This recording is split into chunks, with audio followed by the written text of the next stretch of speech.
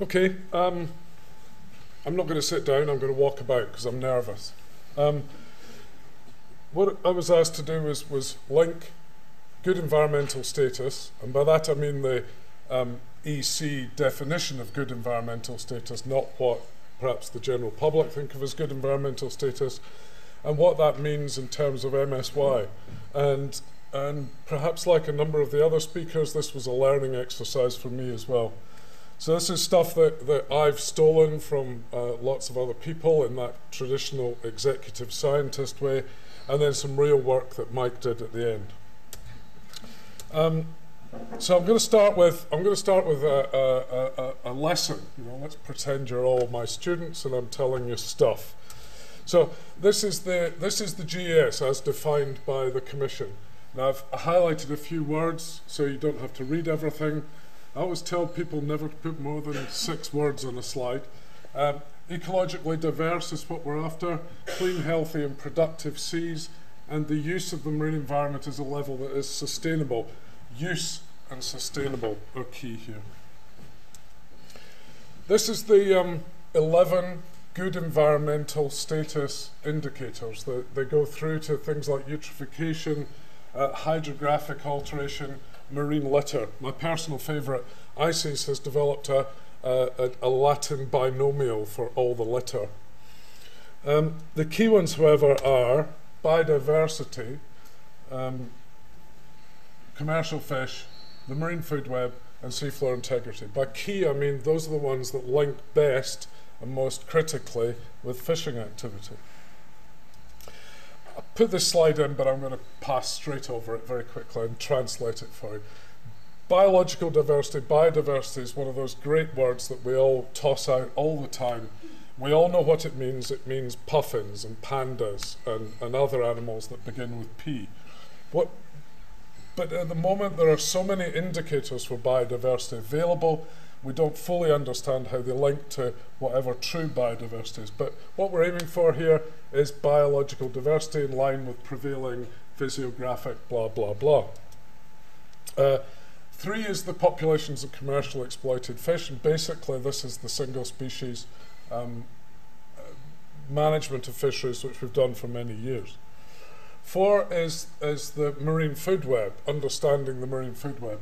At the moment, it's largely uh, a small number of structural indicators, but it's talking about ensuring the long-term abundance of the species and retention of their full reproductive capacity for those that are critical in the food web.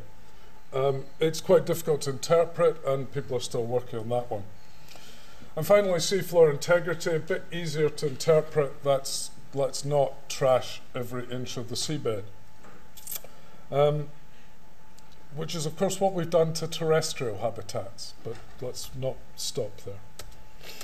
Okay, what I wanted to do was, was in, in the next couple of slides is, is talk about this concept of sustainable use. Um, the, there's a lot of question marks as to what we're after in, in the management of ecosystems. Is it, is it the pristine environment? If you look at OSPAR directives and, and others, it's a pristine environment. Get it back to where it was many years ago. Hugh Fearnley Whittingstall in his fish fight was advocating such things.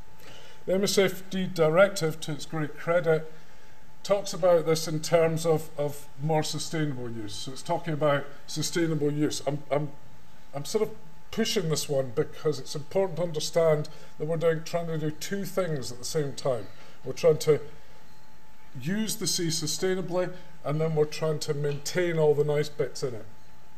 So it, go, it goes on to say conserving marine ecosystems. So there it is, there's a balance again, and that's what my talk's about. It also comes up with this one, uh, aims to achieve good environmental status by 2020.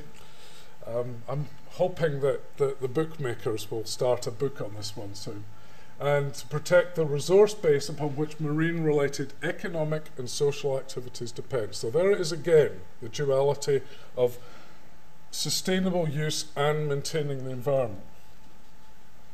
I went off into the web to look for um, some sort of reference that took this from the opposite direction. My personal view is that you cannot exploit and maintain something as pristine. Uh, it may seem like an oxymoron, in fact, But I think what we're saying is that if you're going to exploit, if you're going to make use of something, you impact on it.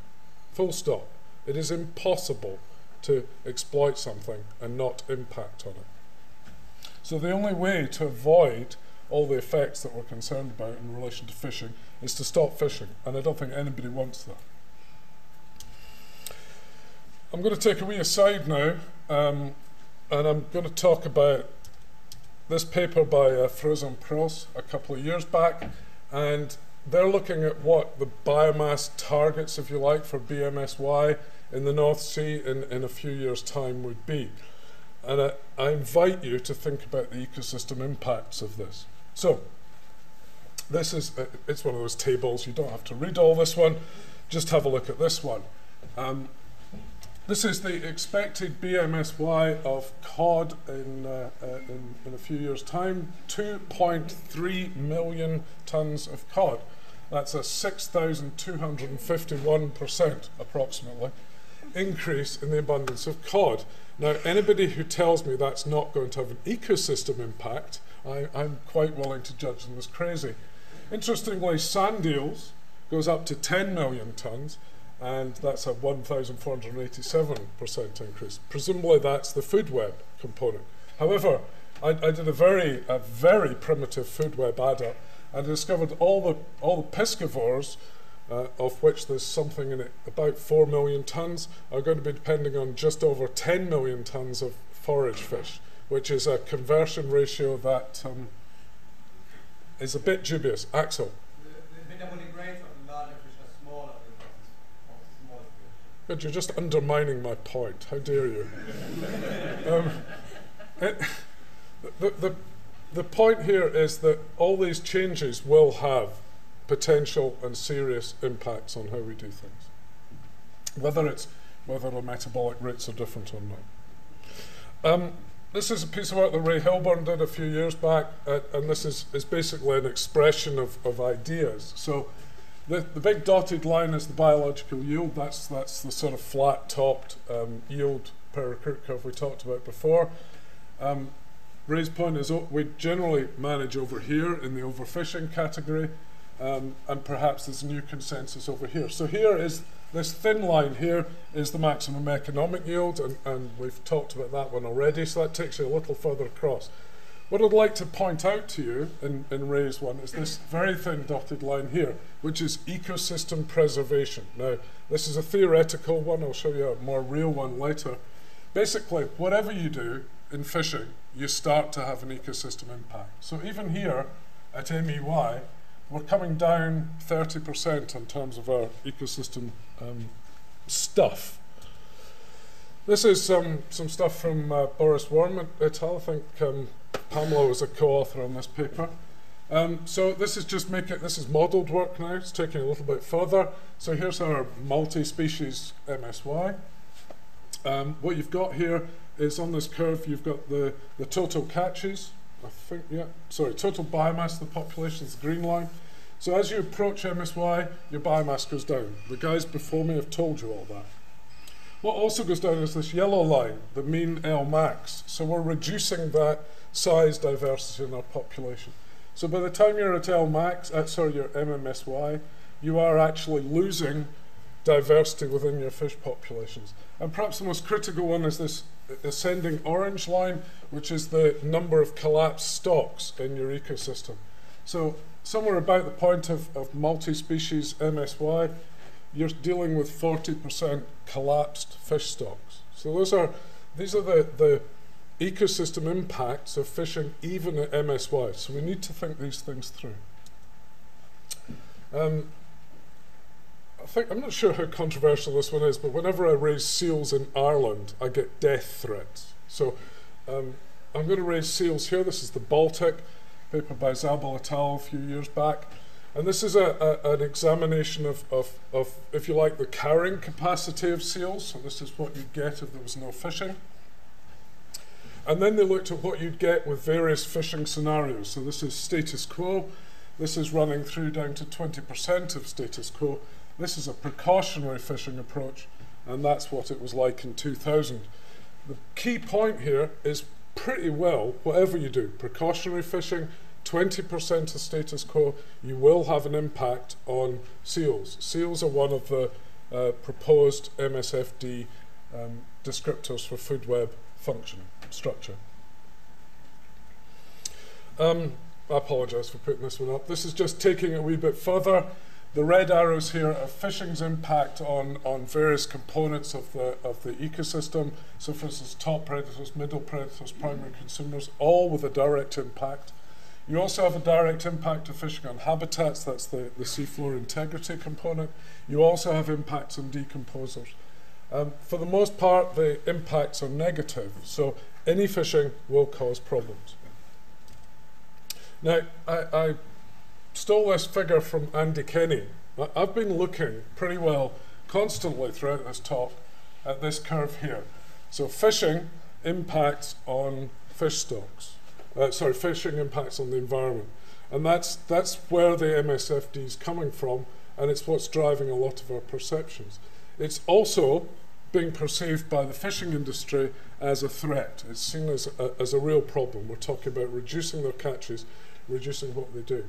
However, the interaction has a reverse thrust to it, um, is that the environment, the environment that fishing is directly impacting, then affects the, the ability of you to fish stocks. There is a backward feed in all this. So the very fishing that you're carrying out is also impacting on your ability to fish in the future. Perhaps that's obvious in terms of fish stocks, but less so in terms of the environment. Uh, as I say, that was stolen from Andy Kenny. This, this whole presentation is basically stolen, you understand. The point I'm trying to make here is, is that we have a trade-off. That's the whole point of this project.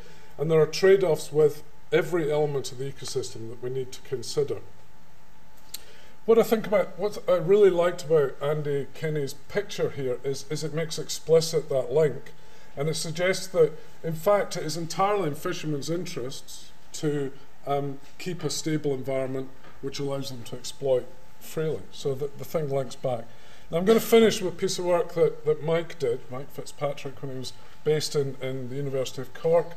This is a mind mapping the Celtic Sea herring fisheries. So this is to establish our credentials as sociologists. Um, so, of course, being a, now moving into my sociologist mode, I, I offer you this. And, and as you can clearly see from that, th th th this is one person. Uh, we're looking at their understanding of the links between different components of it. I won't go into detail, just to show you how complex it is. And, and this was done by Mike through a series of interviews with fishermen, processors, um, scientists, NGOs. But this is just one of them. And this is what he gets out of that. Um, and this is a bit easier to understand. So here's, here's the herring stock, which is what we were looking for information about. Here's the influences. The red ones are negative influences. The thickness of the arrow expresses how important people think these are. So you have the pretty obvious one that fishing pressure has a direct impact on herring stocks. And then you can wander around this picture looking at other things that are, are considered important. This is their management committee. This is we scientists, so beginning to get a bit smaller. Um, and down here, with this tiny little, possibly um, positive link, is ecosystem productivity. Now, so what, what, what we've got here is, is that this group of stakeholders in general recognised that ecosystem productivity was an important factor in managing their fish stock, or was a factor in managing the fish stocks, but was not a particularly important one. Um, this is this is a difficult one to get across here, but this is Mike then parsed this out into various components. So you have up here you have the the long-term health of the Celtic Sea ecosystem. That's why I put it here. So this is what people think about how important that is. Um, across here we have an equitable fisheries governance system, sort of a social, a social component. Across here we have the maintain and develop the, the socio-economic value of the fishery, and over here is the keep that fishery intact and operating. And in that community that you looked at, which had, as I say, many segments of the, of the, the people concerned, the key factor that came out in his analysis was that most people the biggest interest is to keep the fishery going. That's not surprising, but it does show you the, the uphill struggle or, or, or the job that we have to do to illustrate and, and try and get the message across about the other factors involved. The environment has much less weight in that. Uh, what I really, really think is interesting is that the socioeconomic value is, is quite a long way down as well. Within that, you can then parse into each of these individual cells and see what they think is most important by category. So the most important thing for, for ecosystem conservation is to improve decision making and inclusion of the advice of relevant experts. So that's us. So we do have a door open to us. Um, in terms of the one that's most important to them, they say, um, and, and perhaps this is the issue, they, they say that the most important thing to them is to adhere to the, the management plan and to the long-term reconstruction of the fishery. Um, this one down here for, for the support of the development for equitable, the big one comes out strengthening industry science partnership. So again, a plea for us to work with them. The one that really blows me away, and, and Mike tells me to be very cautious of this one, is this one over here. This is the socio-economic stuff. And what the main things that come out of this is to ensure the interests of smaller vessels are protected, that's a social target, and maximize fishing and processing employment, again a social target. This one here, the one that says maximize profitability, which would be your classic expected, you know, whatever we do, let's make loads of money, comes out as the least important socioeconomic target. So what I've tried to give you here is an overview of, of how the, uh, particularly with ecosystem, and then I diverged into social and economic at the end, but it's how the ecosystem components are all impacted by our choice of of, of um, fishing MSY targets and why we have to include those as constraints in what we're doing. Okay, I'll stop there. Thank you very much.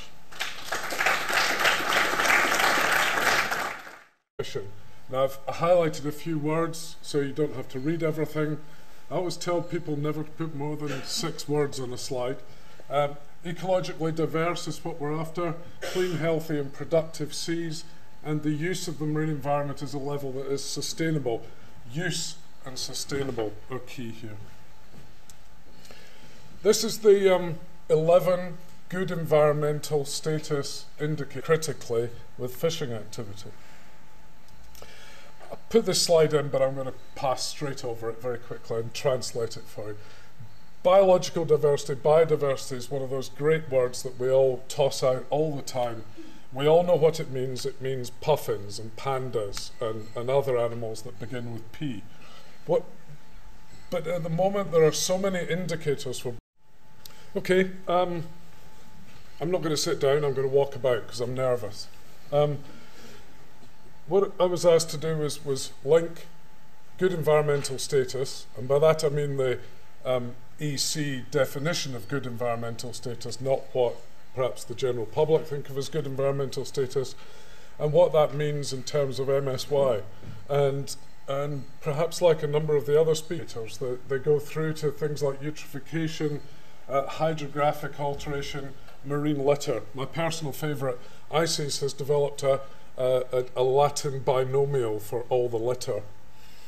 Um, the key ones, however, are biodiversity, um, commercial fish, the marine food web, and seafloor integrity. By key, I mean those are the ones that link best and most, because this was a learning exercise for me as well. So this is stuff that, that I've stolen from uh, lots of other people in that traditional executive scientist way, and then some real work that Mike did at the end. Um, so I'm going to start with I'm going to start with a, a, a, a lesson. You know, let's pretend you're all my students, and I'm telling you stuff. So this is the this is the GS as defined by the committee.